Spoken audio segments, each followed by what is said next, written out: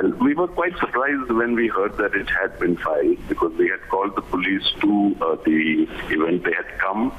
We had uh, recorded it with them, uh, and they were there till the end. So we were slightly taken aback when we were told that two days later they had filed the charge.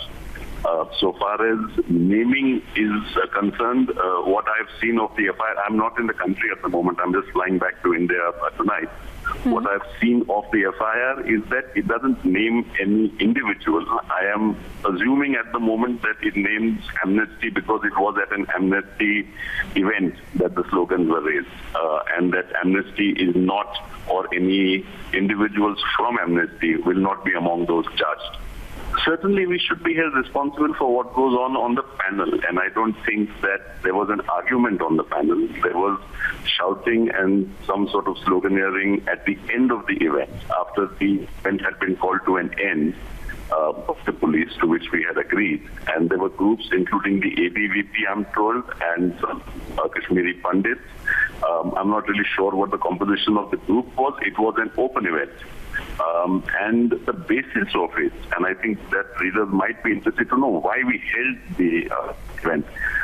We we uh, put out a research report that has documented how FIRs by the Kashmir government to the center since 1989, uh, and these regard charges of uh, murder, of rape, uh, extortion, of kidnap against officials of the army, the center has not responded to the Kashmir government with either a yes or no on any of the FIRs. We wanted the center to respond so that the families that are involved get a closure on this. That's the basis of the event. It was held on the basis of a research report which took us Okay. many years to uh, to uh, produce. That was the that was the nature of of the event. I have absolutely no problem with the police charging those who sloganeered with whatever law they feel is right. I think the issue is whether amnesty ought to be charged with something.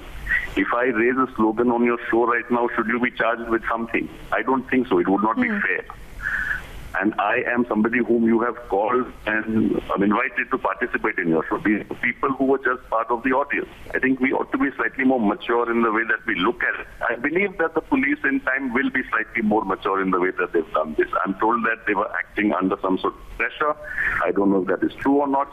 Certainly the facts on the ground do not betray at all an iota of what the police says in that uh, FIR. It is still in Kannada, so I, I don't know if Okay. the if the actual data is out yet or not.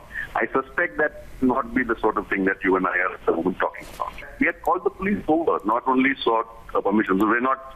We are absolutely clear that we are the ones who had called the police in, and we are the ones who. eh, I mean, we, we knew who they were, and we had asked them to come. So there is no question at all of us not having either kept them in the you know uh, uh, in the loop which we had, and we knew that they were there.